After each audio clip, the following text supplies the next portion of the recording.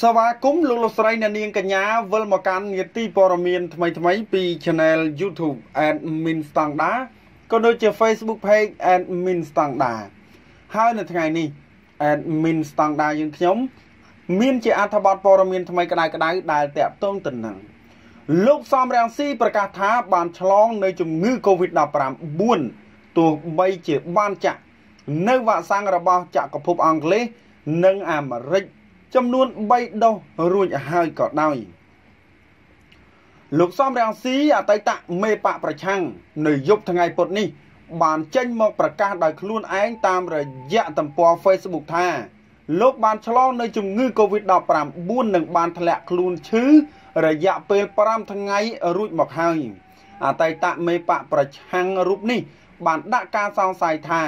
ប្រហែលជាលោកបានឆ្លង នៅជំងឺ Covid-19 ប្រភេទបំផ្លាញថ្មី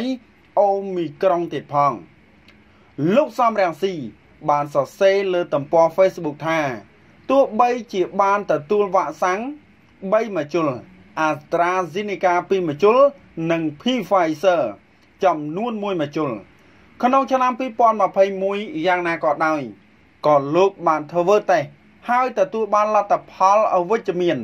នៅវីរុស COVID-19 កាលពីថ្ងៃទី30ខែធ្នូឆ្នាំ2021កន្លងទៅលោកសំរាំងស៊ីបានបញ្ជាក់ទៀតថា នៅពេលនោះលោកមានរោគសញ្ញាតិចតួចគ្រាន់តែក្អកនិងឈឺបំពង់កបន្តិចរយៈពេល2ទៅ3ថ្ងៃមកដល់ថ្ងៃទី4ខែមករាឆ្នាំ2022នេះលោកបានធ្វើតេស្តមួយទៀតក៏បង្ហាញនៅលទ្ធផលអវិជ្ជមាន អស់មានទុកមេរោគទៀតហើយចំណែកនៅថ្ងៃទី5ខែមករាឆ្នាំ2022នេះលោកសំរាំងស៊ីបានធ្វើតេស្តម្ដងទៀតហើយបង្ហាញលទ្ធផលអវិជ្ជមានដដែលគឺមានន័យថា លោកបានជាសះស្បើយពីជំងឺ Covid-19 ពេញលេញបើតាមលោកសំរាំងស៊ីគឺនៅក្នុងរយៈពេលប្រមាណខែចុងក្រោយនេះ នៅឯប្រទេសបារាំងនិងនៅទូទាំងពិភពលោក មានមេរោគបំផ្លែងខ្លួន ឈ្មោះថាអូមីក្រុង